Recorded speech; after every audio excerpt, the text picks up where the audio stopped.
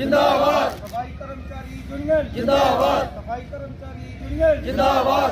पहले तो मैं अपने पूरे सफ़ाई कर्मचारियों की तरफ़ से मीडिया कर्मी भाइयों का शुक्रिया करता हूँ जिन्होंने आज 16 दिन तक हमारे साथ पूरा सहयोग दिया और हमारी आवाज़ को बुलंद करते रहे। उसके साथ साथ मैं अपने शहरवासियों का भी शुक्रिया करता हूँ जिन्होंने हमारे साथ बेखूबी दरी पर आकर सहयोग दिया।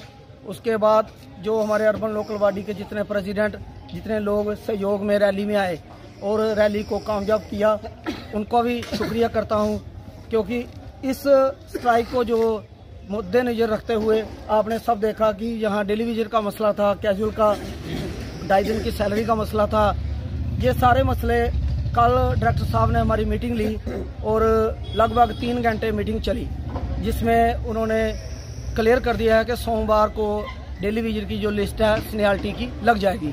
और एक महीने का टाइम लिया कि एक महीने में उन्हें परमानेंट कर दिया जाएगा। और ये सबसे बड़ी बात है कि अगर डेली विजर पक्का होता है तो उनको एक अच्छा सिस्टम अच्छा घर का सिस्टम खाने पीने का सिस्टम एजुकेशन का सिस्टम मिल जाएगा। दूसरा, हमारा जो परमानेंट का था, ढाई दिन का, वो भी उन्होंने कर दिया है कि उनका जो बकाया है चार महीने का, वो भी दिया जाएगा।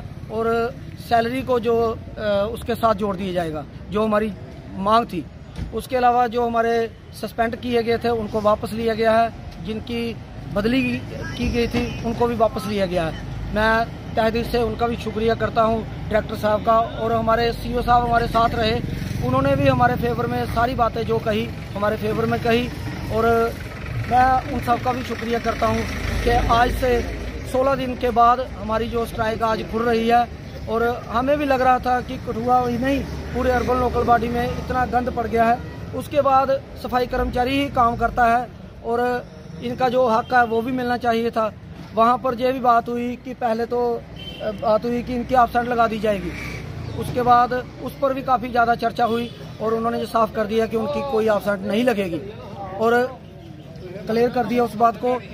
अब मैं सभी सफ़ाई कर्मचारियों से हाथ जोड़कर विनती करता हूँ कि अपना काम ईमानदारी से करें अच्छे तरीके से। एक दिन में काम पूरा नहीं होगा दो तीन दिन लगेंगे पर जितना भी हो सकता है अच्छा करें अच्छे तरीके से करें। तो हम यही चाहते हैं कि ठीक है हम डायरेक्टर साहब के साथ जो बात हुई हमारी बिल्कुल अच्छे से क्या बात हुई है। डायरेक्टर साहब से आपकी? कि, डायरेक्टर साहब ने यही जो हमारा ढाई दिन की पे का मुद्दा था जो हमारे डेली वीरों के मसले थे मंडे तक हमारी लिस्ट लग जाएगी जो हमारे म्यूनसिपलिटी ऑफ़िस जहाँ जहाँ भी है सैंती की सैंती कमेटी है उन्होंने बोला मंडे तक क्लियर कर देंगे आप लिस्ट लगा देंगे आप उसमें देख लेना जिसको कोई डाउट होगा किसका नाम है किसका नहीं है। उसके बाद आगे की कार्रवाई सारी शुरू करेंगे लेकिन आपको उसमें आप लोगों को भी हमारा साथ देना होगा।